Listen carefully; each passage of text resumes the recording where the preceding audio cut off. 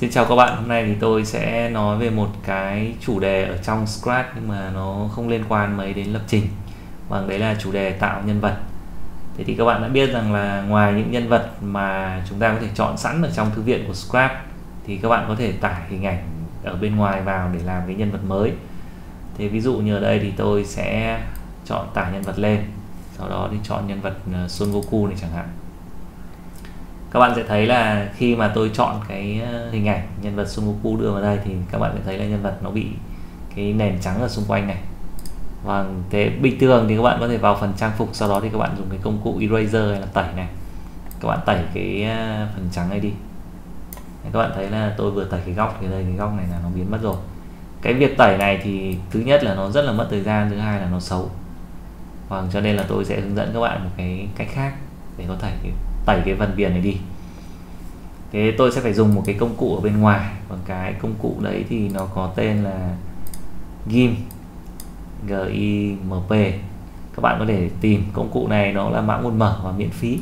Cho nên là các bạn hoàn toàn có thể à, tải và cài đặt, không có phải à, làm thêm cái thao tác gì cả. Thế đây là cái phần mềm GIMP mà tôi đã cài đặt và tôi đã mở lên rồi. Bây giờ tôi sẽ mở cái hình ảnh nhân vật ờ, Son Goku ở đây. Sau đó thì tôi sẽ vào menu layer tôi chọn là new layer. Ở đây thì các bạn phải chọn cái phần ờ, uh, fill width là transparency. Ấn ok.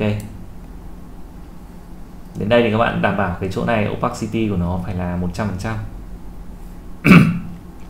tiếp theo các bạn vào phần image.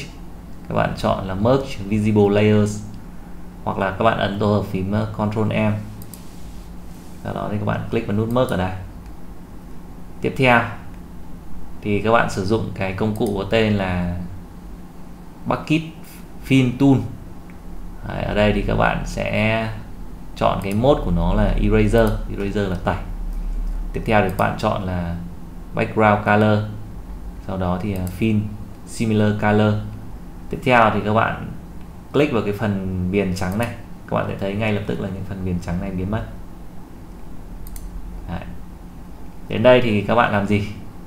Các bạn à, xuất cái dữ liệu hoặc là các bạn lưu. Ở đây thì tôi sẽ export và xuất cái dữ liệu này ra. Tôi sẽ đặt tên cho cái file này là sungoku1.png tiếp theo thì tôi click vào export ở đây. Ở đây các bạn có thể giữ nguyên các giá trị mặc định. Tiếp tục click vào export lần nữa. Thì bây giờ tôi sẽ quay lại cái scratch của mình. Đấy, tôi sẽ xóa cái nhân vật này đi. Bây giờ tôi sẽ tải nhân vật lên. Đây thì tôi sẽ chọn đến cái file mà nó có đuôi là png. Các bạn thấy là image style là png đây rồi. Các bạn ấn open.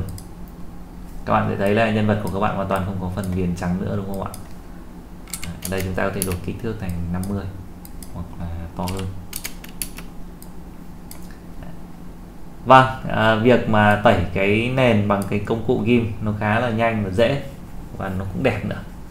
Và hy vọng là các bạn sẽ tự thực hành lại được. Cảm ơn các bạn đã theo dõi clip và hẹn gặp lại các bạn trong các bài sau.